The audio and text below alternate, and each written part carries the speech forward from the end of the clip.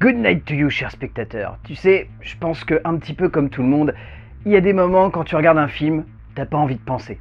T'as juste envie de te laisser bercer par une histoire plus ou moins conne, mais juste de te laisser aller, quoi. Je pense que tu vois très bien de quoi je veux parler. Je veux de ces films loufoques et déjantés qui ne s'arrêtent pas simplement à un divertissement sympathique ou à une bonne métaphore de la réalité ou de ce que nous, êtres humains, pouvons être parfois les uns avec les autres. Non, je te parle de ce genre de périple où tu décides spontanément de mettre ton cerveau sur le côté du canapé ou du fauteuil et où tu te dis simplement vas-y le film, laisse-moi partir loin et peut-être ne jamais revenir. Mais ça, on s'en fout tant que le voyage est à la hauteur de cette petite promesse de base.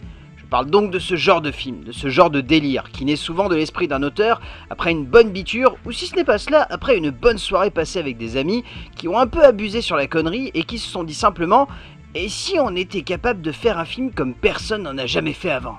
Et là, dans le genre, on est sur du croustillant avec une bonne double dose de débilité. Début des années 2000, on va pas se mentir, beaucoup de cinéastes ont fait n'importe quoi, avec des concepts à la con, allant de la bonne idée du trip de fin d'études entre potes, au mec qui refuse de coucher avec des meufs pendant 40 jours, mais Danny Liner, avec à l'écriture Philip Stark, a trouvé le genre de délire que l'on n'attendait pas forcément avec ces deux mecs qui se réveillent après une nuit hors norme et qui cherchent simplement à retrouver une bagnole. Alors que clairement, cela ne devrait pas être le cadet de leurs problèmes. Dans sa catégorie, ce film est une pépite de fin de soirée, le genre de moment de cinéma qui ne laisse clairement pas un goût amer en bouche, mais plutôt un goût pâteux, comme une bonne soirée de laquelle on aurait préféré ne pas garder de souvenirs, mais où on se dit quand même que l'on a bien rigolé, et que si le voyage est sacrément con, bah la résolution reste tout de même à la hauteur de ce que l'on nous avait promis à la base.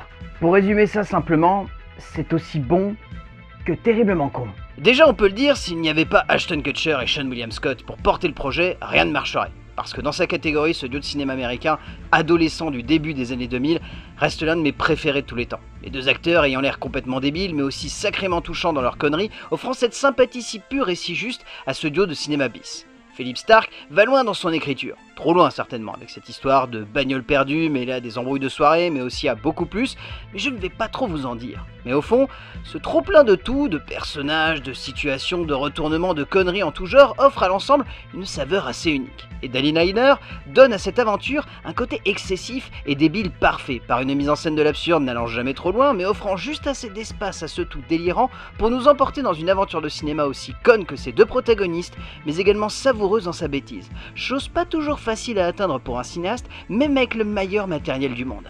Ce tout est aussi imparfait que terriblement barré, et en fait c'est ce qui fait sa réussite.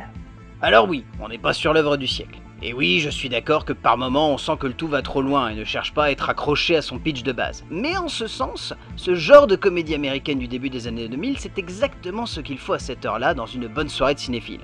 En ce sens, Liner a su donner à son cinéma un objet aussi loufoque que ses deux personnages principaux, mais surtout a su capter un esprit très années 70 dans son excès constant de débilité et de drôlerie abusive pour donner lieu à cette espèce d'après-stoner movie assez rare qui ne sonne pas comme une perle de cinéma mais comme une énorme bière à 8,6 degrés.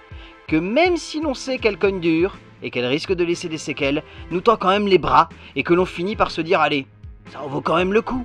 Et rien que pour ça, faut voir et mec, elle est au. Bonne séance et on se retrouve devant la porte arrière de votre cinéma le mois prochain.